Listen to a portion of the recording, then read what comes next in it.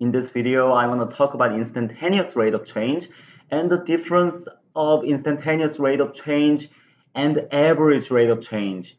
Now, let's say someone asks you what the instantaneous rate of change at x equals b is.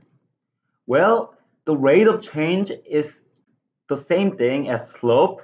So they're asking you to find instant, instantaneous slope or the slope exactly at x equals b and that's going to be the that's going to be the slope of the tangent line at x equals b.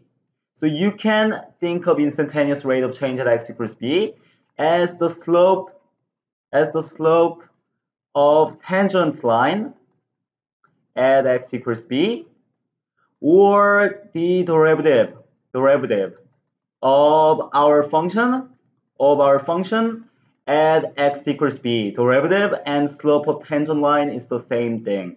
Now let's talk about average rate of change. Where the average rate of change is, now let's say this is average rate of change from x equals b to x equals c. That's the how we define average rate of change is the slope of secant line, the slope of a line that goes through two points. So the average rate of change from x equals b to x equals c is going to be the slope of this line. So that's going to be the slope of secant secant line through the points x equals b and x equals c. It's the points that relate to x equals b, b f of b, and c f of c.